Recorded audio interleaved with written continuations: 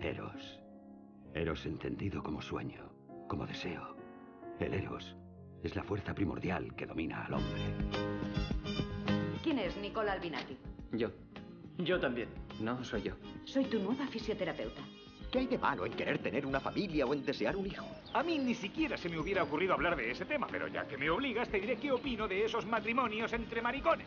Para tener un hijo he de recurrir a la fecundación asistida, ecografías endovaginales, bombardeos de hormonas, ¡bum, bum, bum! ¿Y por qué tanta monserga? Porque este hombre tiene los espermatozoides pequeños y medio agilipollados. No sé, me aburren los chicos de mi edad. Me parecen estúpidos, Oh. vacíos. Vacío. Por eso me gustan los hombres como tú. Los viejos. No, no, viejos no. Ella es mi nueva fisioterapeuta. ¿Fisioterapeuta de qué? Fisioterapeuta de la polla. No te preocupes si tienes una erección, es normal. No, no, ¿qué va? Es buena señal, significa que todo funciona.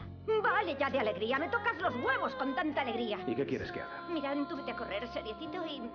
Por favor, luego vuelve deprimido. ¿Que me perdones? Te perdono. Te traiciono y me perdonas. Lo que tienes que hacer es cabrearte conmigo, porque te he puesto los cuernos y por lo menos echarme de casa. Pues mira, yo te perdono. ¡Qué testaruda! Ay,